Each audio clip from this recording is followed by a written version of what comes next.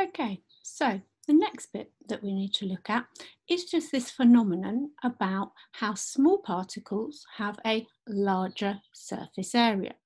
Uh, and when we're talking about this, we need to look at it in terms of a ratio, and we talk about a volume or a surface area to volume ratio. So here's an example. We have a large particle. Now, naturally, this large particle has got a bigger surface area than this single small particle. And this, I think, is where some people get a little bit confused.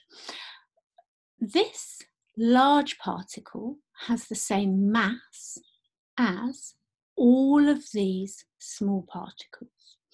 So, whenever we're talking about volume area to surface ratio, we understand that for a given volume, the surface area can change. So the volume here is uh, the uh, height, the width and the depth times together.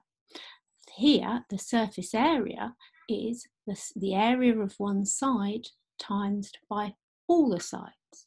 So if we look at this one, we can see that the area of one side times all the sides, if we're applying this um, value of two centimeters uh, for each width and height and depth, the area of one side uh, is two times two, which is four. Now we're not working out the volume, we're working out the area, so it would be four times the number of sides, which is six. So four times six is 24. And so then I have 24 in one cube and I would times it by the number of cubes that I have.